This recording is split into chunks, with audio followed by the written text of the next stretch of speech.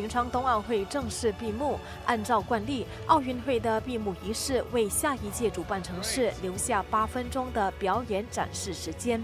在2018年平昌冬奥会闭幕式上的北京八分钟，就是由下一届冬奥会的主办城市北京所带来的文艺表演，以此向世人展示无与伦比的新时代中国风采。发出相约二零二二年北京冬奥会的邀请函，标志着冬奥会正式进入北京周期。北京八分钟昨晚惊艳亮相，为观众奉上了高科技的交接演出。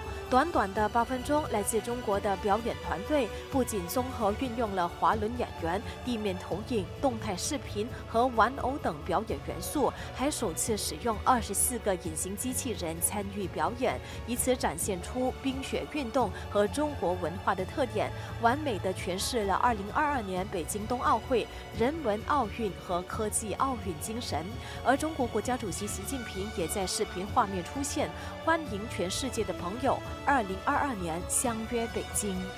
这次平昌冬奥会的闭幕仪式，北京八分钟的导演是张艺谋。张艺谋说，表演是通过现代方式来演绎，有两个特点：一是人工智能参与，人工智能和演员一起来完成表演；二是通过互联网和中国人的一个互动，向世界发出邀请。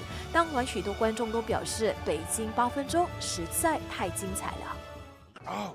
Great. Yeah. Loved it. Yeah, it was it was a terrific uh, production, and we're I'm going. I'll go again. I'll go to Beijing. Uh, good luck to Beijing. You've you've always been uh, fantastic in hosting events. You hosted the Olympics. Now you're hosting the Winter Olympics. Uh, to Beijing. Uh, good luck at the Winter Olympics. You'll do a great job. 台上一分钟，台下十年功。为了这短短的演出，中国参演者表示，他们在北京封闭训练了近三个月，每天至少要推着八百斤的道具来回走上千米。